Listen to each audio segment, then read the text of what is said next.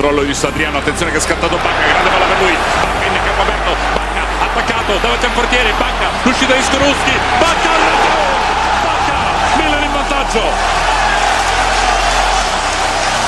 Contropiede perfetto da parte del Milan qui Bacca.